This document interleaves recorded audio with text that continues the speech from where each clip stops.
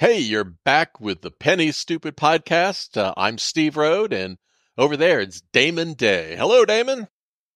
What's up, Steve? Hey, we're back today. We're going to be talking about a couple of things. Uh, one is a uh, somewhat, I don't know, popular, unpopular uh, video that I posted about fake driver accounts.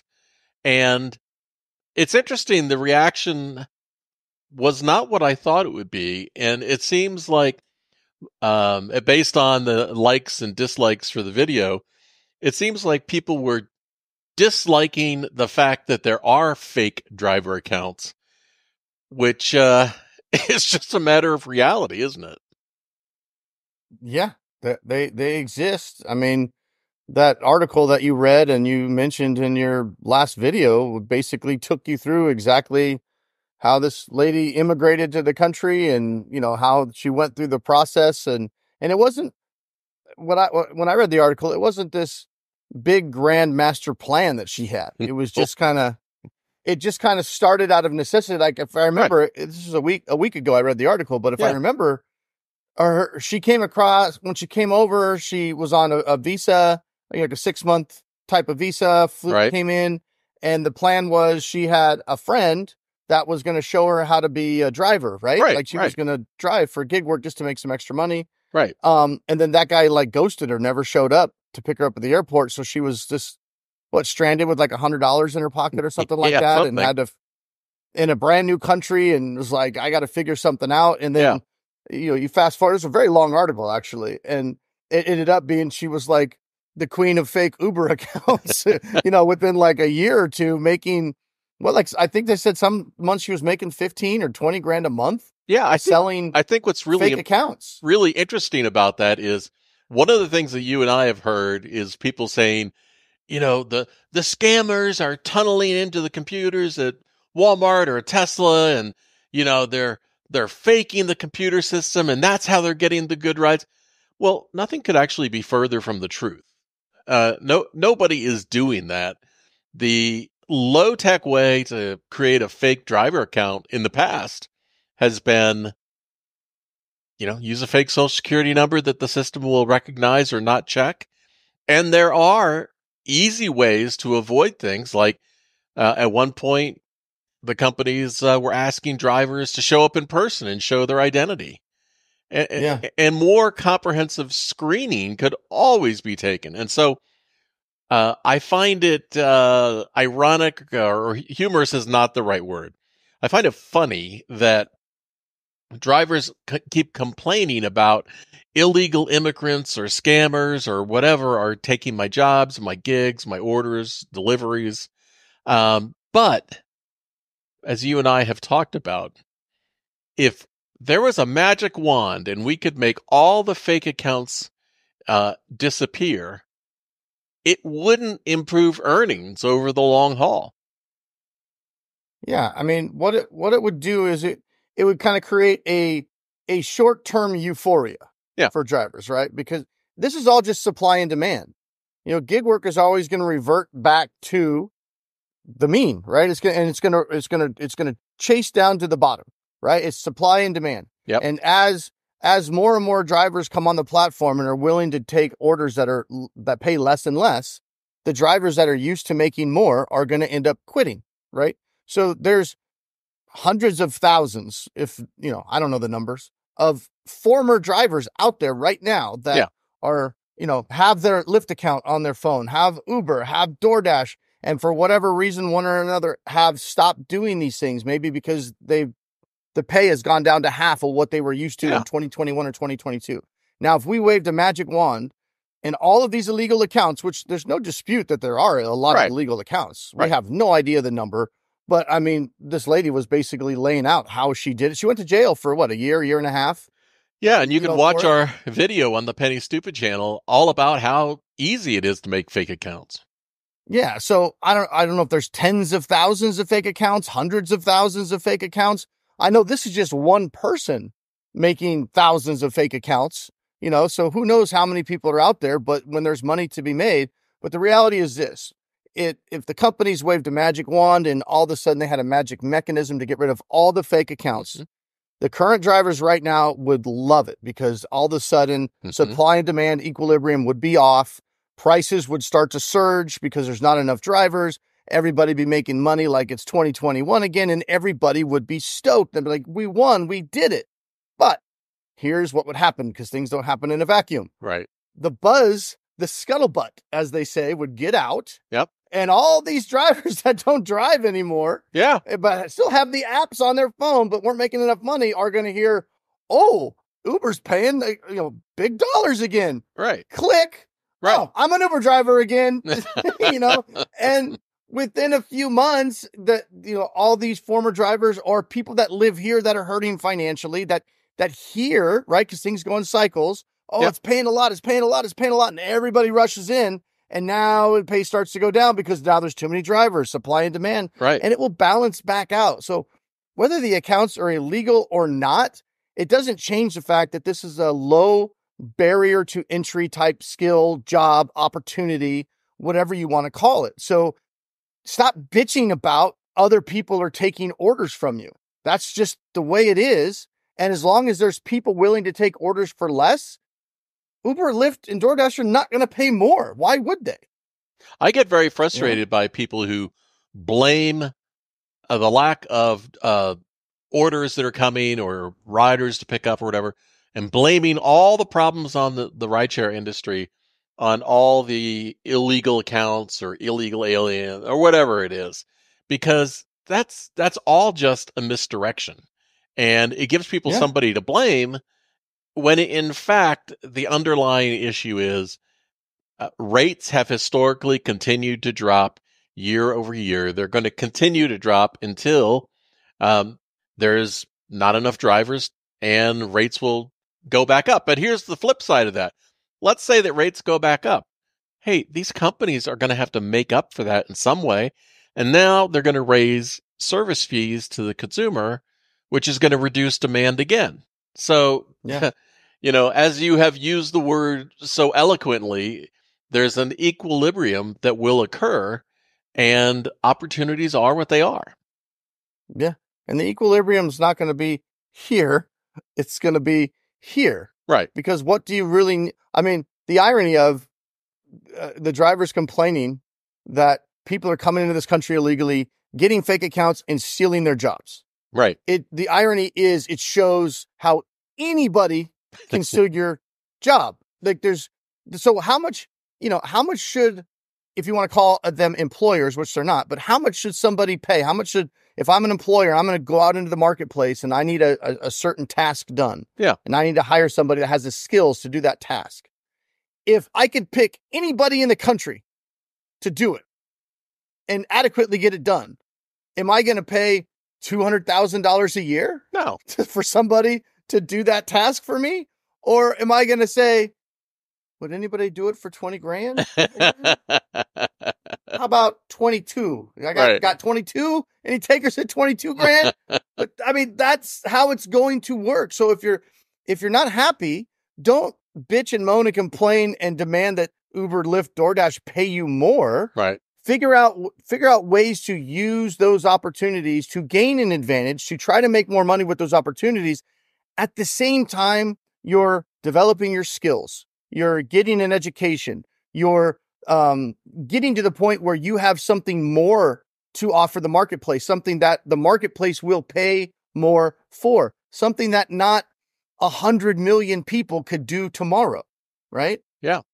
And one response from uh, drivers or gig workers has been these companies need to pay more, and they have applauded changes like in Massachusetts, thirty-two fifty an hour, or New York City forcing a, a minimum per hour. But as we've seen in New York City, the way the companies adapted was uh, if you are idle, they're just going to kick you off the platform.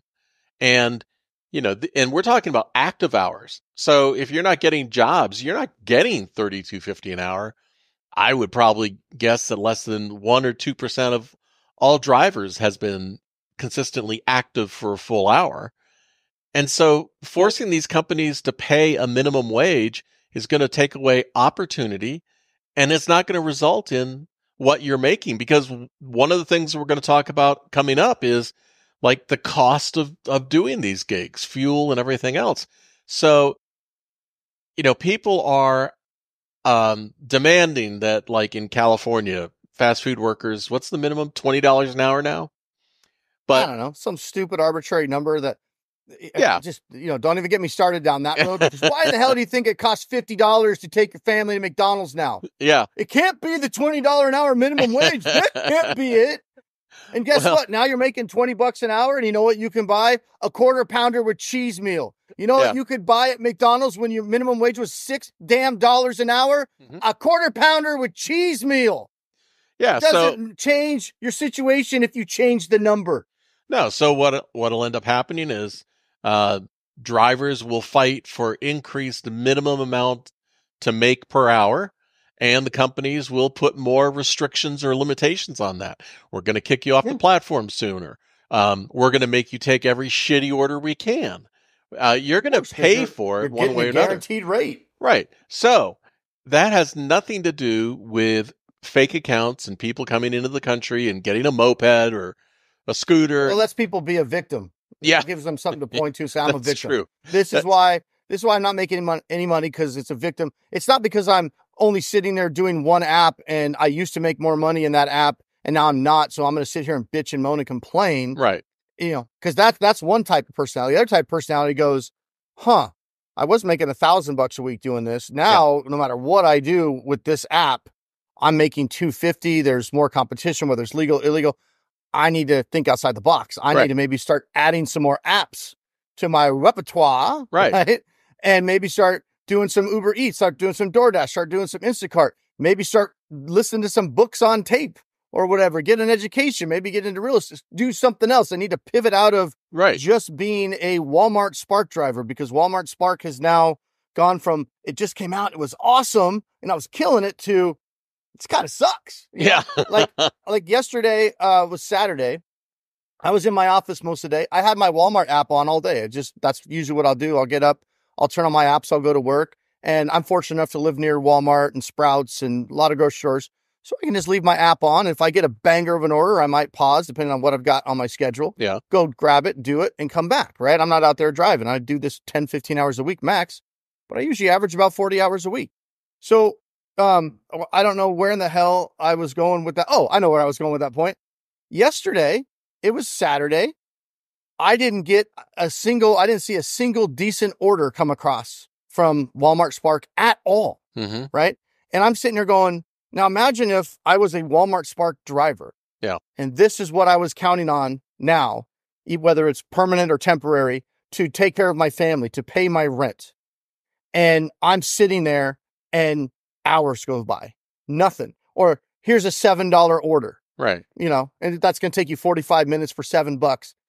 I, I don't know how somebody could, could mentally handle that where you feel like you have no control, like you're a slave, you're a victim of Walmart and you're, and I can see how that anger would, oh, there's illegals, they're stealing this, they're stealing that and all this stuff because you used to make more. Now you can't feed your family. Right. But you're, you're you're wasting your energy, that that that energy, that anger, that motivation to get online and bitch about people stealing your jobs, that should be channeled into something productive.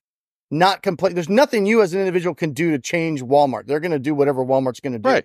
So instead of complaining about that, turn on DoorDash, turn on Uber Eats, turn on Instacart.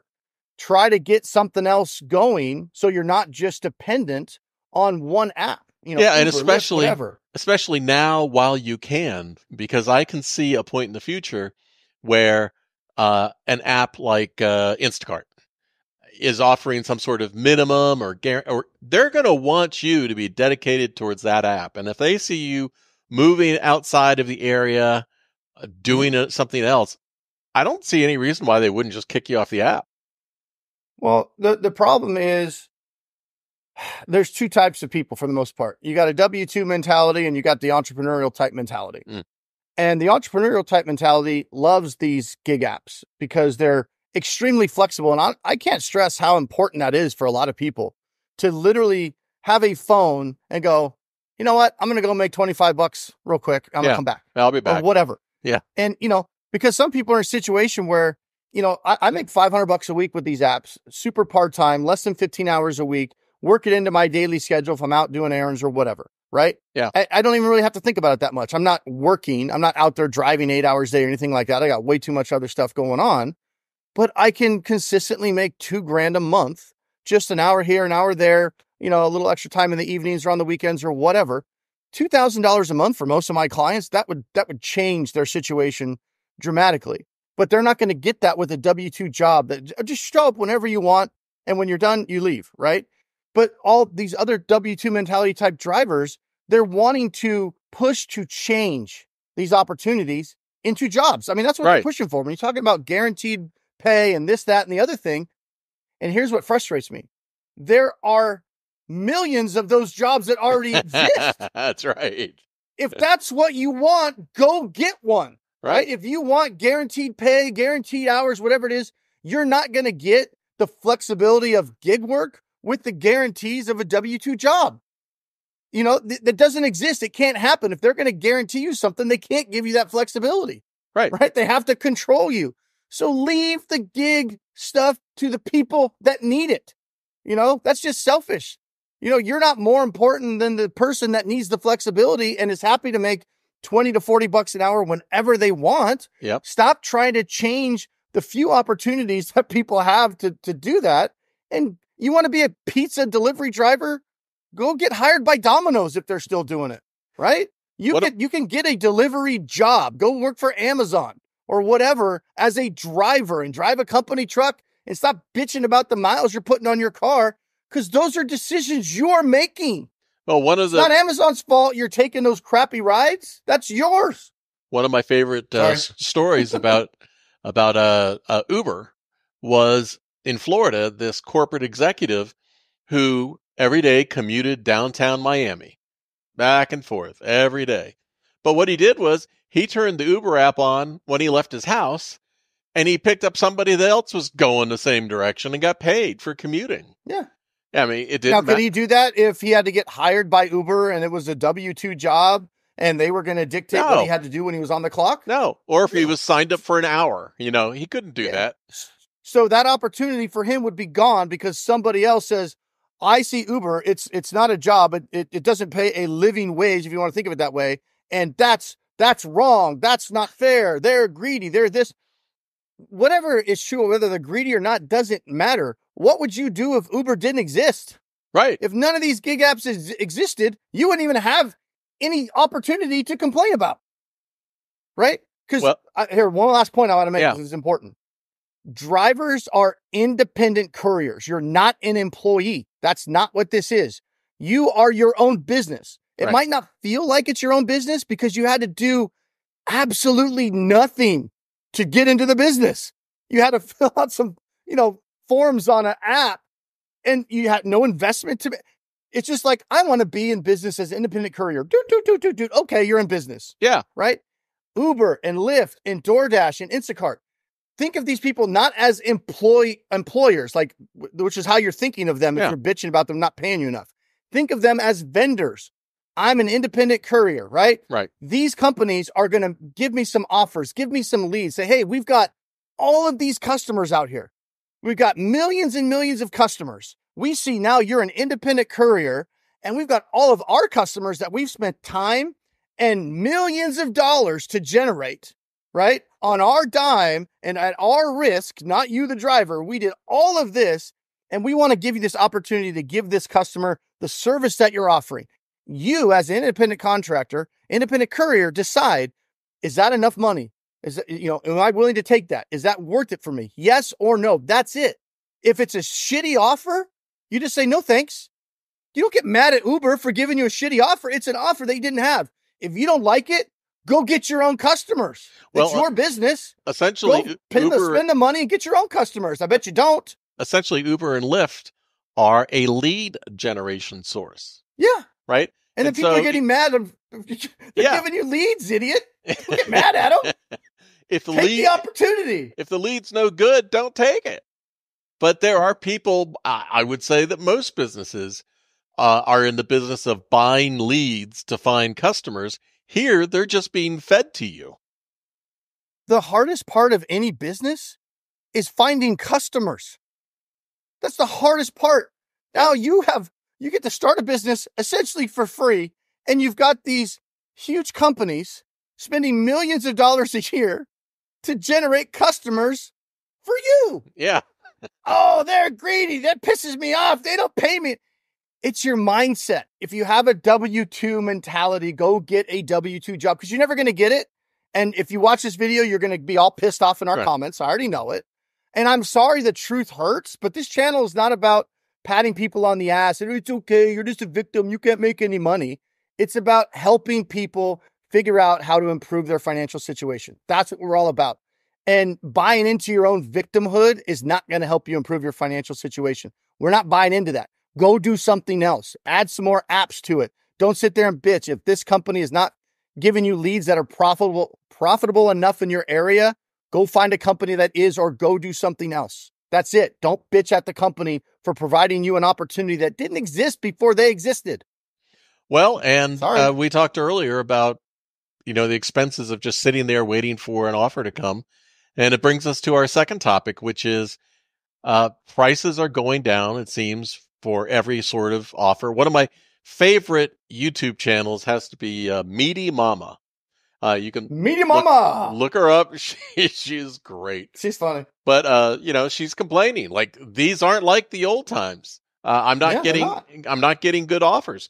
And so if you're making less per offer and it's taking you approximately the same amount of time that it was before, that means that your cost per mile is going up. And Damon, you've had a a rude re-education on this because your Tesla is uh, not able to be used right now for delivery, so you've been driving your gas car and it's taking uh, you're realizing how much gas per hour you can burn doing crappy orders.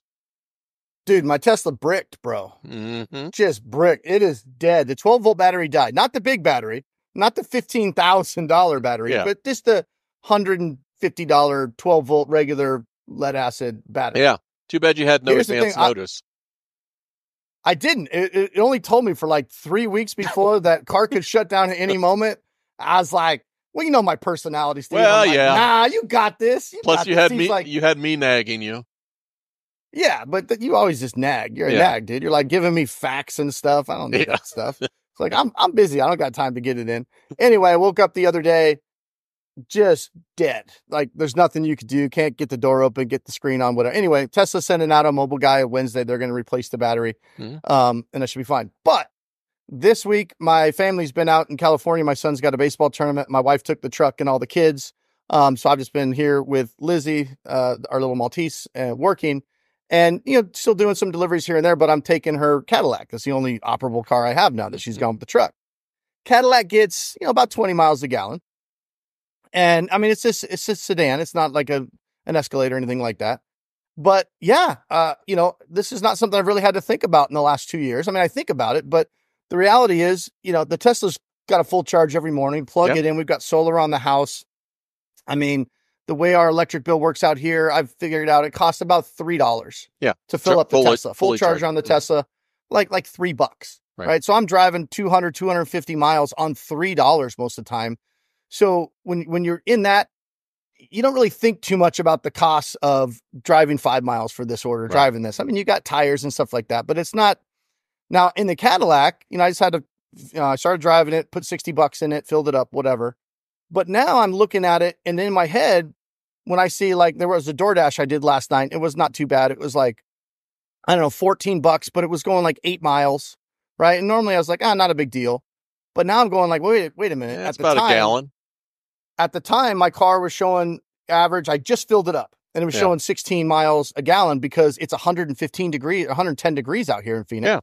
so guess what i'm doing when i'm at my stop Oh yeah, you're leaving you're the car running Yeah. I'm leaving the car running the other day, so i'm in uh, uh the restaurant yesterday there's one that's like oh we're waiting on the sides and normally i'm like yeah okay but then i'm like my car's idling in the parking lot now the waiting time is is driving me even more crazy and it took them like 10 minutes Yeah. meantime i got my car out there idling you know it's locked but i can see it it's just idling i'm just like i can feel the gas just getting sucked out so that's why it's only at the time averaging 16 miles a gallon, you know, because it's been doing a lot of idling, driving around town, things like that. Unlike Yeah. the Tesla, which is more efficient driving around town And when you leave it and you leave the air on in dog mode, it's negligible drain on the battery, Right. if if any at all. It's, it's like it doesn't even blip on the radar. So anyway, now I'm in my head. I'm going, okay, 14 bucks, yeah, fine. Okay, it's going to be you know eight miles, but you know I'm gonna have to come back about five miles to get back home. So man, I'm going to be driving about you know 14, 15 miles. Mhm. And like you said, that's a gallon. A gallon's you know 360. I just filled up. Mhm. Now, oh my, now this fourteen dollars is like you know not even ten, you know ten and change. Right. Like I don't even factor that in that much in my head when I'm driving the Tesla.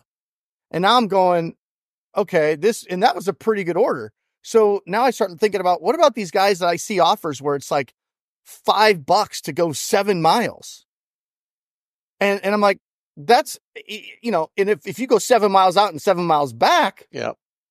you're get you're spending three fifty for gas and you're getting five, so you're spending a half an hour of your day for a dollar fifty. Yeah. And so you you, you, gotta- get to do what? two two of those runs an hour?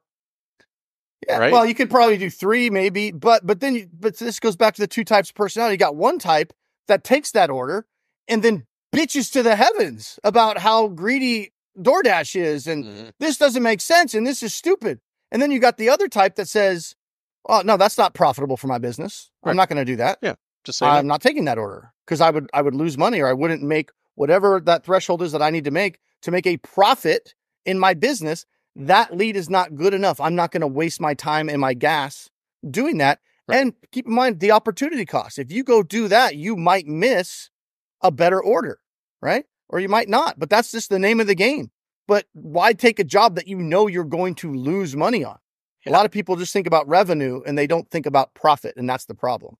Yeah, and I've seen uh, a bunch of these earned by time offers where drivers will get, you know, a good one or they'll have a high rating and they'll they'll get one that pays them an extra buck or two, you know, like big deal. Um, but then they get a bunch of shitty offers. So then your opportunity is what?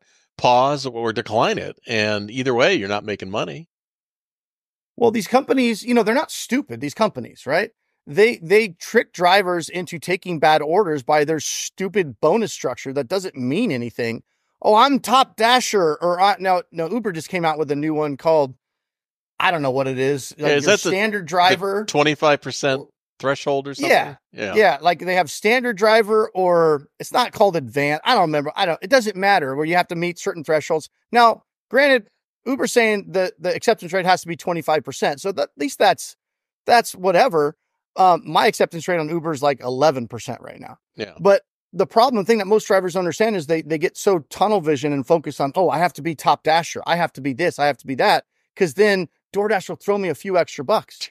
But what you're potentially making Yeah. by getting a few extra bucks on some of these top dasher orders, you're more than losing on all these shitty orders you're having to take to keep your acceptance rate Yeah. high enough to qualify. It's just like, hey, go lose 20 bucks and we'll throw $2 at you after. Yeah. And imagine how it, much do- it, it costs doesn't compute. how much it actually cost to achieve that rating.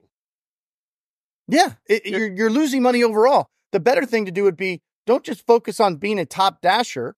Focus on five different apps that you're not a top dasher or top driver or whatever the hell on any of them, and just cherry pick and get the ones that are the best orders, right? And Yep. those are all going to come from customer tips. Almost all of these apps, the the the base pay that comes with most of these is not even enough to cover your expenses, or barely. Certainly not enough to cover your time, right? Well, but they've figured out that people will still take those orders for some unknown reason.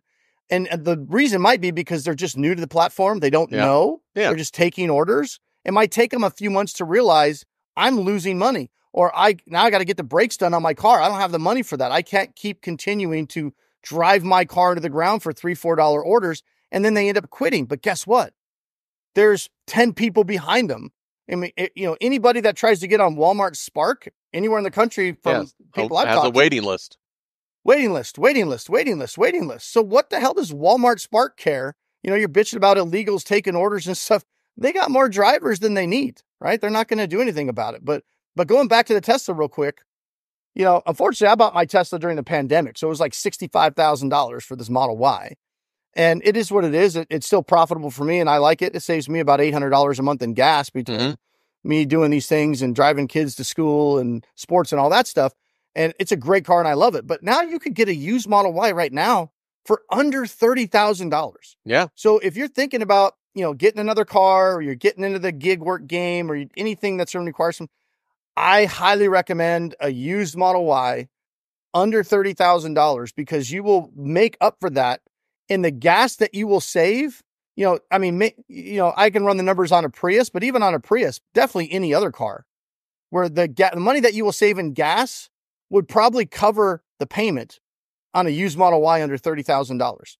Well, here's the caveat. eh, yeah, You got to have a you got to have a garage or a place you can charge it right. at home. You can't you can't park if it you have to do superchargers, you you lose most of that savings. It doesn't make sense, unfortunately. So if you live in an apartment, you can't have your own supercharger. You, you can't have your own level two charger there. It's not going to save you much money. It's going to be more of a hassle than it's worth. But if you have a house, you have a garage, get a Model Y if you're going to do this stuff. Well, okay, let me give you some real time statistics. So if you wanted to go out and get a Model 3, you could lease one right now for two ninety nine a month for three years. Or you could buy it for six hundred and ten dollars a month. Uh, the cash price is thirty eight nine. Mm-hmm. If you're going to do gig work, do not lease the car. Right. Do not lease the car. do not lease the car. Should they lease the car? Ah, Dave Ramsey's patting me on the back. Sorry. Oh. Although he's he's not fully patting me on the back because he'd also say, "Don't finance the car either. right. Finance the car. You'd be all right if you if it's a tool to make money and you're going to use it that way. You can finance the car, Dave Ramsey. Well, and if you wanted to get something that's a little bit more expensive uh, and it has more capacity, a car like you have now, right now, the uh, long the long range rear wheel drive Model Y is 1.99 percent interest if you finance it.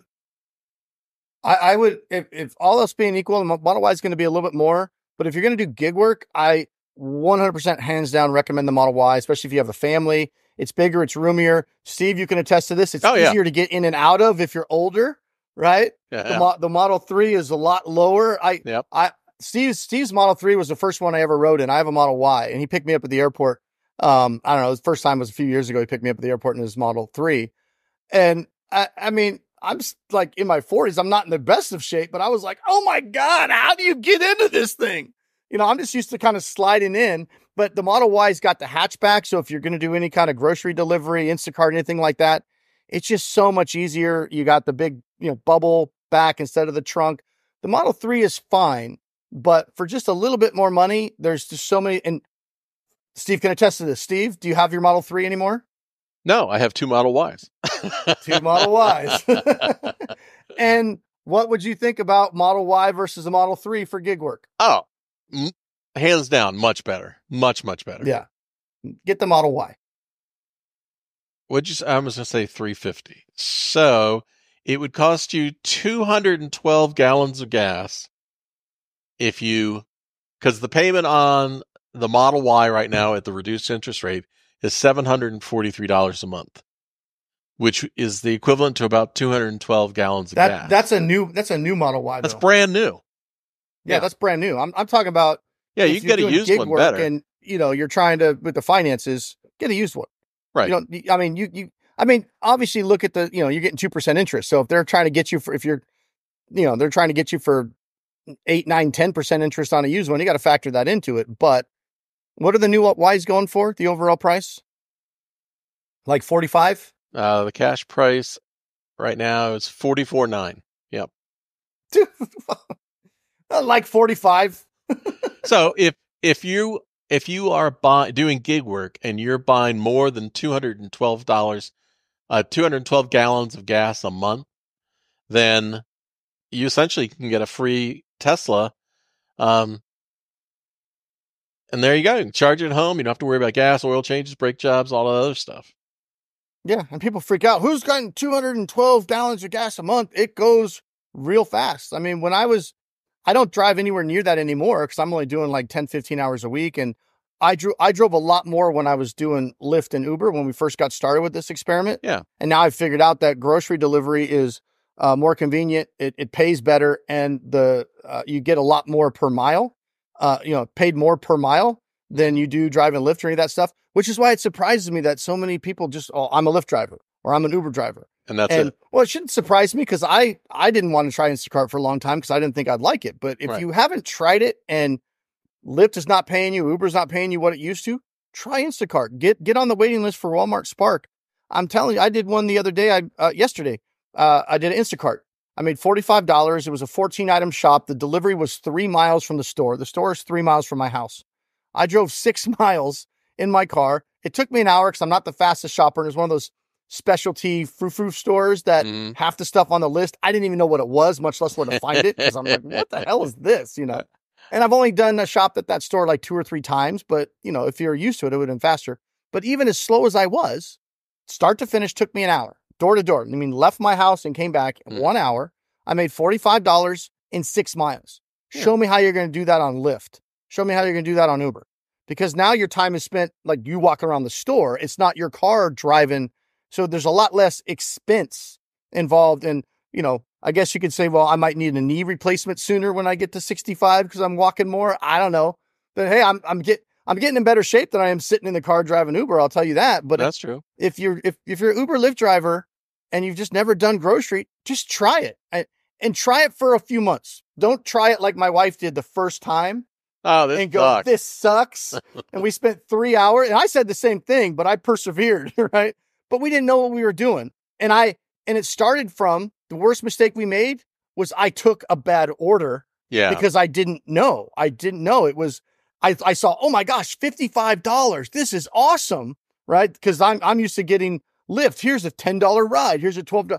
So I saw. But what I saw, but I didn't realize because I had no experience, was the eighty or ninety items, whatever it was, it's going to take forever. not going to be a good deal for somebody that has never done it before. And it took my wife and I two and a half hours you know, there to do the were shop. there were exp- experienced people out in the parking lot, and that pops up, and they were going, "Oh no!"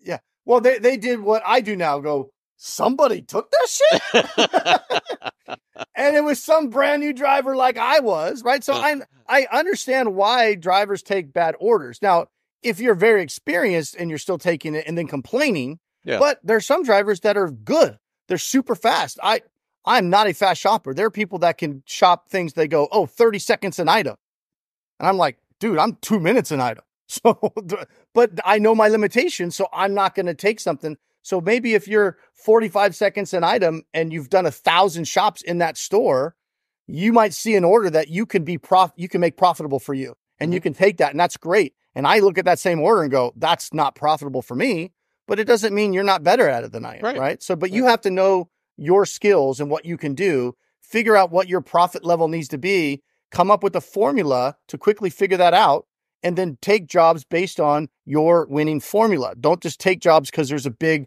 $50 in front of it or something like that.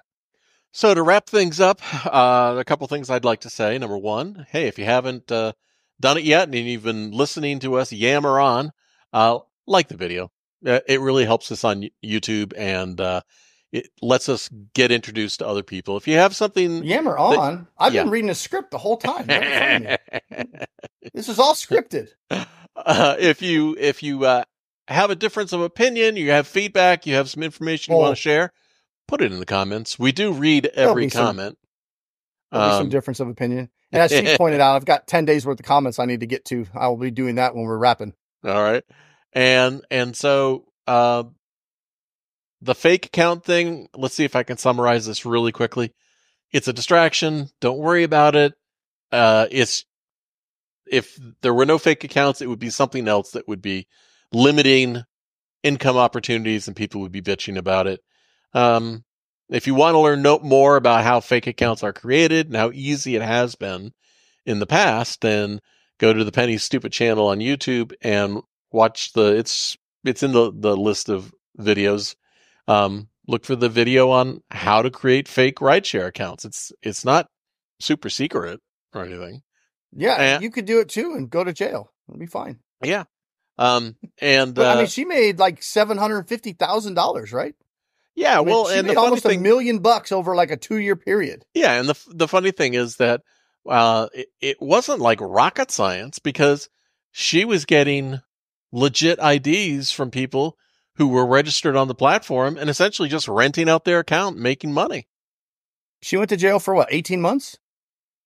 It wasn't that long, but I think it's funny because when she went to jail, she was dissed by uh, other criminals in jail because she went through all this legit. trouble and yeah, created fake accounts and everything, and she didn't engage in identity the- theft and rip people off financially. She did this because she wanted to work and make money, and they Yeah. thought she was a, you know, an idiot. Uh, she, too too goody two shoes to be a, a proper criminal. right, Kinda right. Like, like she had standards. Like there was there was a line she wouldn't cross. yeah, But you know the the funny thing about it, I don't know if it's funny. I don't know if not funny, haha. But I'm sure there are people that would watch this video and say, "Wait a minute, let me get this straight." So she did these fake accounts for like two years, made three quarters of a million dollars, and then only went to jail for 18 months. And Yeah. they're doing the math, going, "You make the money, you set it aside in a Vanguard investment account." You, you you get your three three hots in a cot for 18 Right. months and you come back to you got a million and a half dollars or whatever hey and you don't have rent for those 18 months you just you know just let let the money accumulate i'm not saying that's a good strategy no, i'm just saying there got to be some people going Hmm. hmm that's you know that's a trade-off you know how many people would say hey i need you to spend 18 months in jail and i'll give you three quarters of a million dollars okay, there'll be a lot of people that'll be like cool yeah. All right, Damon. On, on that saying note, you do it on that note, see ya. peace